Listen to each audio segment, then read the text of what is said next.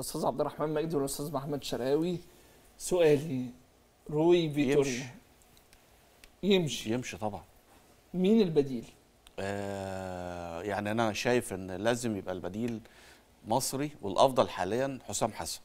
ماشي. لأسباب خاصة بالشخصيه والروح المعنوية اللي إحنا محتاجينها. خصوصا إن إن حسام حسن يعني يعني لسه ما خدش فرصته مع منتخب مصر الوحيد اللي ما خدش فرصته مع منتخب مصر. في نفس الوقت هي مش بال مش بالدور ولا بالكلام دوت ولكن انت في بلد عندها أزمة دولارات. فدلوقتي حتى لو كان روي فيتوريا مدرب كويس وكل شيء وعلى عيني وعلى راسي ولكن مشوارنا في تصفيات كأس العالم إلى حد بعيد ونظريا على الورق مشوار سهل. إحنا معناش غير بوركينا فاسو هي بس المنافس الأقوى لينا في التصفيات المؤهله ل- لنهايات كأس العالم سهل إن إحنا نكسب بأي مدرب وحسام. حسن قادر إن هو يلم ال- الفرقة ويلم اللعيبة بعد اللي حصل في كوت ديفوار أستاذ عبد الرحمن يعني هبقى مي... هبقى ميال لو لو لو إحنا عندنا مدرب من المدربين اللي عندهم خبرة كبيرة في أفريقيا يعني نوعية ديسابر والنوعيه دي أعتقد دي برضو نوعية تنفعنا يعني جدا لأن هم يعني أنت مع رين- ريناردو. آه، المدرب الأجنبي المدرب الأجنبي اللي مش بمواصفات فيتوريا يعني قد ما أنا مقتنع إن فيتوريا مدرب كبير و... وما أقدرش أقول لك إن هو ما, عندوش فكرة وكان لأ وقت حسن امام ما جابه أنا شخصيا كنت فرحان وحسيت إن في اسم برضو من الأسامي الثقيله موجود فين؟ ولكن لأ مع بورتو برتغالي وقبليها آه، والراجل يعني إيه مع بورتو؟ يعني هي وجهات نظر خلينا نقول إنها وجهات نظر. آه بس. يعني لا يعني هو اسمه ماشي. آه. إيه بقى؟ يعني لا إن أنت بتجيب مدرب كبير. تجيب مدرب يعني هو بيبقى مرشح. هتشوف على فكرة يعني أنت هتشوفه هيروح مصر كل فين المدربين الأجانب اللي نجحوا كان ليهم سيرة ذاتية قبل ما يجوا يمسكوا أهلي أو زمالك أو منتخب. لا هو غالبا كان آه، بيصنعوا آه، نجاحهم هنا يعني متفق معاك. فأنا أنا اللي أقصده إن يعني أنت دلوقتي لو هتجيب أجنبي الأفضل إن أنت تجيب حد متمرس في الجزئية دي حتى ما فيش مفاجآت. إحنا فعلا حسينا إن فيتوريا متفاجئ في وقت من الأوقات ودي حاجة يعني ما ينفعش تحصل حتى لو هو مع ما جاش قبل كده المنطقة دي خالص. أنا حسيت إن إن هو كبر عشر سنين في البطولة دي. آه يعني في حاجات كأنه ما يعرفش انها موجودة في الكورة يعني. ولكن طبعا لو معاك واحد زي ريناردو ولا معاك واحد زي دي صبر ولا معاك واحد من المدربين اللي هم فعلا يعني عندهم خبرة في أفريقيا آه، إحنا مشوارنا على كأس العالم مش هيبقى مقياس لأن إحنا هنتأهل كده كده.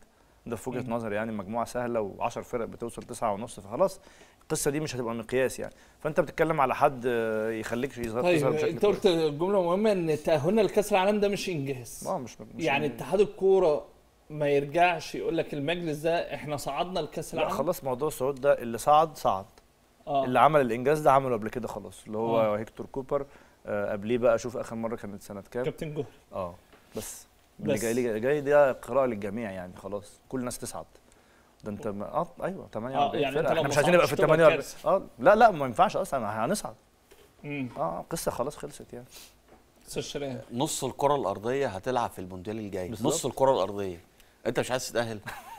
يعني, يعني المسألة آه، بسيطة جدا. وبعدين أصلا فنيات لا يعني بوركينا فاسو إحنا شفناها في آه، أمم أفريقيا مش منتخب مخيف. آه فرقة كويسة. بس لو إحنا بمستوانا السيء اللي لعبنا بيه قدام بوركينا فاسو نخسر. عشان كده أنا بقول لك انت محتاج تعمل refresh للمنتخب دلوقتي. محتاج ان انت تجمع اللعيبة بشكل نفسي بشكل معين وكده. والاقدر على كده كابتن حسام حسن. زائد ان انت هتوفر دولارات. عبد الرحمن بيتكلم على ديسابر ديسابر لو بياخد 20 دولار في أفريقيا هيجي هنا ياخد لك 200 ألف ديشليون دولار. أنا ما أعرفش ليه ال- المدربين عندنا بيجوا لكلامك ده روي فيتوريا نفسه كان معروض على الاهلي ب ألف دولار. شهريا. ليه المدربين عندنا مسك بيجوا المنتخب شوف وليد الركراكي 220 بياخد كام و- دي؟ ومدرب آه، و- السنغال بياخد كام؟ كل المدربين بياخدوا أرقام بعيدة جدا عن الرقم بتاع فيتو. كان إحنا دولة غنية. كان إحنا دولة عندنا يعني مرطرطه ال- الفلوس معانا قوي فأنت بتدي ب- بسخاء لل فأنت هتجيب مدرب برضو نفس القصة كده؟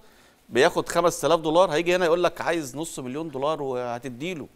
لا إحنا عايزين مدرب مصري يلم ال- الفرقة بشكل كويس ويقدر إن هو يتجاوز بقى ال ال الأزمة اللي إحنا شوف فيها. أليو سيسي المدير الفني للسنغال اللي واخد إفريقيا وصعد كأس, كأس عالم خرج من أمم إفريقيا أهو من دور ال ال 16 آه سوري من دور ال ال 16 ال 16 آه. استقال آه. قدم استقالته آه. الدنيا بسيطة. اهي